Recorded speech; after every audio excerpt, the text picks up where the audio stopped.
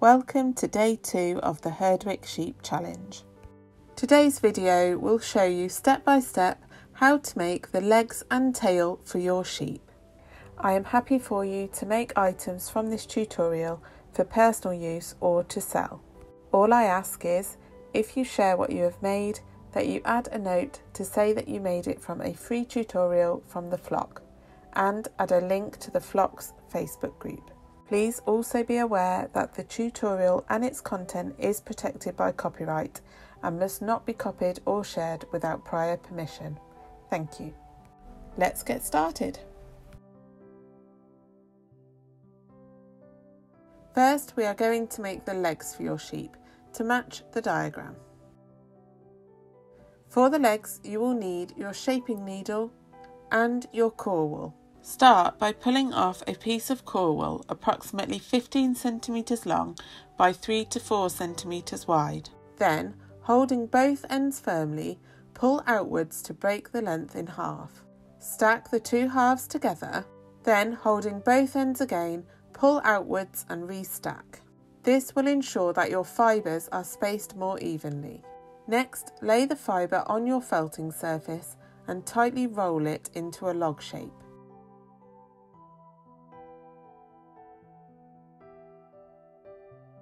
Then stab along the centre, turning as you go to stop the fibre unravelling.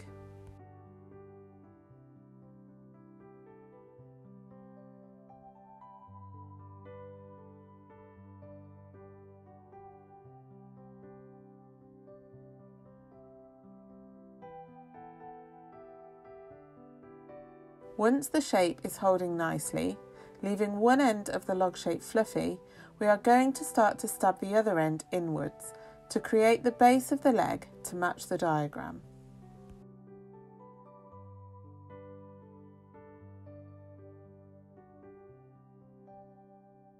The base of the leg needs to be a flat circular shape like the base of a cylinder.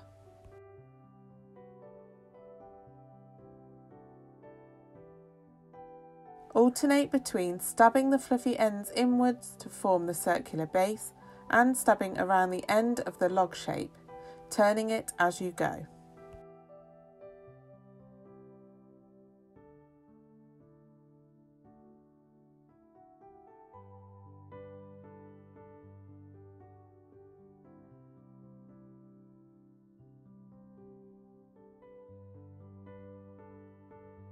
Pressing the base firmly with your fingers can also help you to ensure it is nice and flat.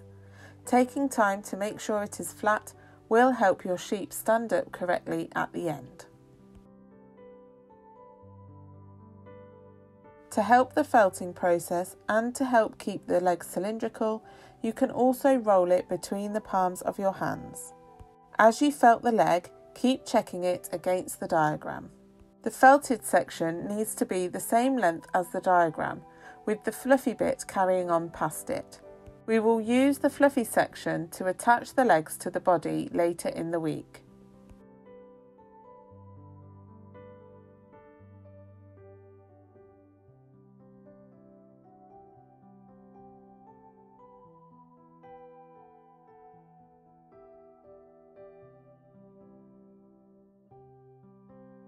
Once you are happy that the length of the felted part of the leg matches the diagram, keep stabbing to firm it up.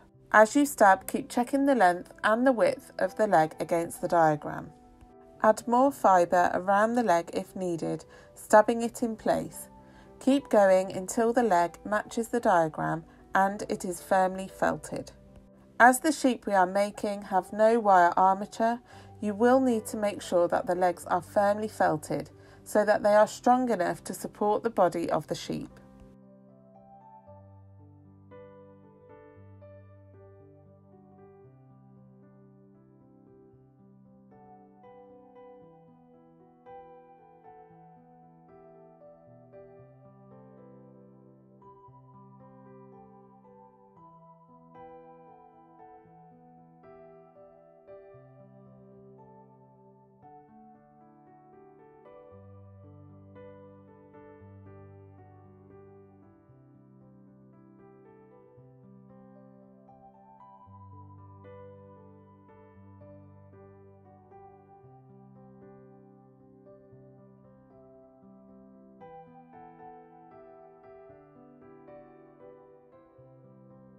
Repeat these steps for the other three legs.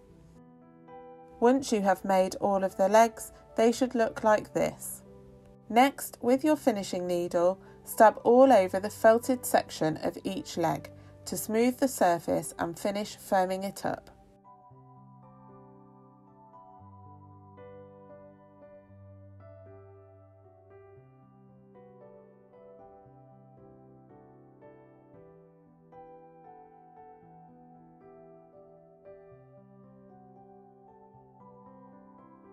Next we are going to make the tail for the sheep to match the size and shape of the tail diagram.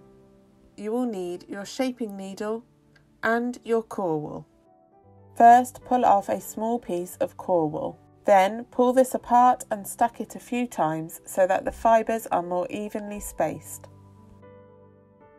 Next, lay the fibre on your felting surface and tightly roll it into a thin log shape. Dab along the central section to stop the fibre unravelling, turning it as you go.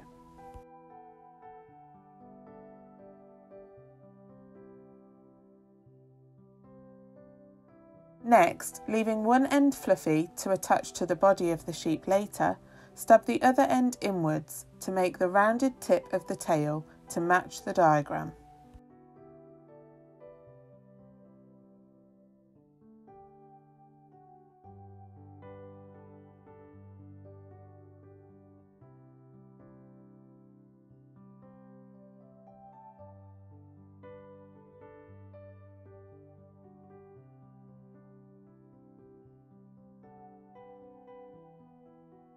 To help the felting process, you can also roll the tail firmly between the palms of your hands.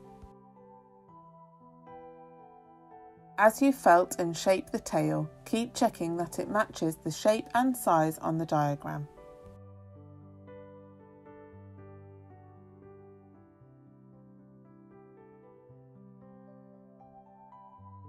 Once you are happy that the shape and size matches the diagram, go over the felted section of the tail with your finishing needle, smoothing the surface and firming it all up.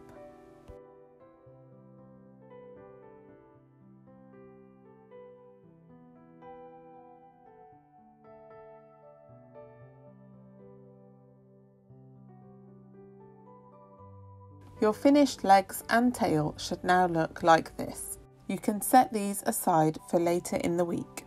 Remember, if you would like to be in with a chance of winning the prize for taking part in the Herdwick Sheep Challenge, please upload a photo of your finished work on the video thread for today in the Challenge Facebook group. Your next video will be available tomorrow at 9am UK time and we will be making the body of your sheep.